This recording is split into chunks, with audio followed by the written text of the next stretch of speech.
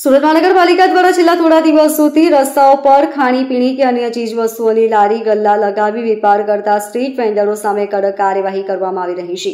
જેને લઈ મહાનગરપાલિકાની આ કામગીરી સામે આજે સુરતના પાલ આરટીઓ પાસે વેન્ડર દ્વારા અનોખો વિરોધ દર્શાવવામાં આવ્યો હતો. મોટી સંખ્યામાં સ્ટ્રીટ વેન્ડરો એકત્ર થઈ જાહેર રોડ ઉપર ભીખ માંગી તંત્રની નીતિ સામે વિરોધ દર્શાવ્યો હતો. સુરત મહાનગરપાલિકા અંતર્ગત આવતા જાહેર માર્ગો અને વિસ્તારોમાં રોડ રસ્તા અને સાઇડ પર વેપાર કરતા સ્ટ્રીટ વેન્ડરો સામે ઝીરો દબાણ હેઠળ કાર્યવાહી કડક કરવામાં આવી રહી છે, જેને લઈ રસ્તાઓની સાઇડ પર વેપાર કરતા નાના વેપારીઓની હાલત કફોડી બની છે. જેને લઈ આજે પાલ આરટીઓ ફૂડ વેન્ડર અને છૂટક વેપારી દ્વારા પાલ આરટીઓ રોડ ખાતે મોટી સંખ્યામાં એકત્ર થઈ અનોખો વિરોધ કર્યો હતો. મોટી સંખ્યામાં જુદા જુદા વેન્ડરો એકત્ર થઈ જાહેર રોડ ઉપર એકસાથે કટોરા લઈ ભીખ માંગી પાલિકાની કામગીરી સામે વિરોધ દર્શાવ્યો હતો. રસ્તા પર નાસ્તાની લારી ચલાવનાર હેતલ બહેને જણાવ્યું હતું કે, મહાનગરપાલિકાના અધિકારીઓ દ્વારા અમારી લારી બંધ કરી દીધા, અમારી સ્થિતિ કફોડી બની ચૂકી છે. છેલ્લા એક મહિનાથી વેપાર ધંધાઓ બંધ થઈ ગયા છે. અમારું ઘર આ વેપાર ઉપર જ ચાલે છે. તેવી સ્થિતિ સર્જાય છે. અમે ઓછું ભણેલા છીએ અમને આના સિવાય બીજું કંઈ જ આવડતું પણ નથી. અમારું આર્થિક બળ છીનવાઈ ગયું છે. અમારી માંગ છે કે અમને રસ્તા પર વેપાર માટે લારી મૂકવા ન દો તો વાંધો નહીં પરંતુ કાયદાકીય રીતે જે પણ થઈ શકતું હોય તે રીતે અમને જગ્યા ફાળવીને ધંધો કરવા માટે છૂટ આપવામાં આવે. મારું નામ હેતલબેન. હેતલબેન કઈ જગ્યા પર કેટલા વર્ષથી લારી ખાવાની ચલાવો છો અમે પીપલોદ ડુમ્મસ રોડ ઉપર.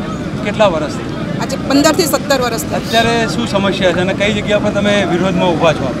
અમે પાલ ઉપર વિરોધમાં ઊભા છીએ અને અમારી સમસ્યા એક જ છે કે જે કોર્પોરેશનમાંથી જે શાલિનીબેન અગ્રવાલે જે ઝુંબેશ ચલાવ્યું છે અને અમારા લારી ગલ્લાઓ બંધ કરાવ્યા છે એ માટે અમે અહીંયા ઊભા છીએ. અચ્છા આજે કયા પ્રકારનો વિરોધ કર્યો? બસ અમે હવે શાલિનીબેન અમારી કોઈ સહાય નહીં કરે તો પછી અમે આ ભીખ માંગીશું અને અમારું ગુજરાન ચલાવીશું. અચ્છા બેન આનાથી તમારા પરિવારને શું સમસ્યા થઈ છે? બીજી બધી બહેનોને તમને પોતાને? જો સાહેબ હું તો ખુદ પોતે ગૃહિણી છું. આ બેન ગૃહિણી છે આ બેન ગૃહિણી છે એમના છોકરા ભણે છે એમના છોકરા ભણે છે.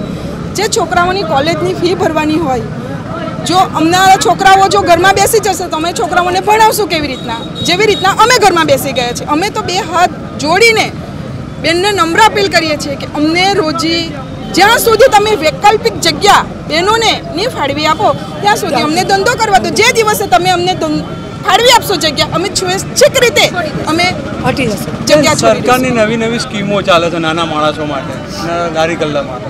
એનો કંઈ તમે લાભ લીધેલો? સાહેબ અમે દસ હજાર વીસ હજાર પચાસ હજાર સુધીની અમે લોન લઈ ચૂક્યા છે.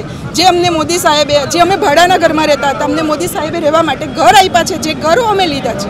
બેન આનાથી હવે એક મહિનાથી લારી બંધ છે તો તમને સમસ્યા શું આવે એ હપ્તા ભરવા બાબતમાં? જો સાહેબ આજે પેલું કહેવત છે ને કે પૈસા માટે સગો બાપ બી સગો થતો નથી. તો અમારી બેન્કો જે બેન્કોના હપ્તા, જે છોકરાઓની કોલેજ એ તો અમારા સગા થવાના નથી. અમારે તો પછી શું કરવું પડશે? એમના જોડે વ્યાજે? અહીંયાથી વ્યાજે? વ્યાજના પૈસા લઈને અમારે તો હપ્તા ભરવા પડશે. Bureau report, LK star news, Surat.